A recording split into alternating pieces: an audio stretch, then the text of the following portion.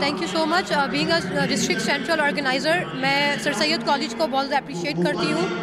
उन्होंने बहुत अच्छे तरीके से इस इवेंट को कंडक्ट करवाया है और बहुत अरसे बाद हम देख रहे हैं कि वॉलीबॉल का जो कोर्ट है वो आबाद हुआ है। तो मैं समझती हूँ कि इसी तरीके से इवेंट होते रहें। जैसे कि हमारा टेबल टेनिस के इवेंट की ओपनिंग हो चुकी है बैडमिंटन हमारा जो है वो हो चुका है। इसके साथ साथ हमारे बॉयज़ के भी जो इवेंट्स हो रहे हैं टेबल टेनिस बैडमिंटन वो हो चुका है। तो आज हमारा उस सीक्वेंस में आज हमारा ये पाँचवा इवेंट हो रहा है। तो मैं उनकी प्रिंसिपल को मिस गुलरुख को, सबको बहुत मुबारकबाद देती हूँ कि ये बहुत अच्छे से इस इवेंट को कंडक्ट करवा रहे हैं। इसमें हमारे पास, क्योंकि हमने वॉलीबॉल काफ़ी टाइम बाद शुरू करा है तो इसमें अच्छी पार्टिसिपेशन थी, काफ़ी टीम ने इसमें पार्टिसिपेट करा है। बिगनर्स टीम भी थी, कुछ पहले से खेलती हुई भी टीम थी।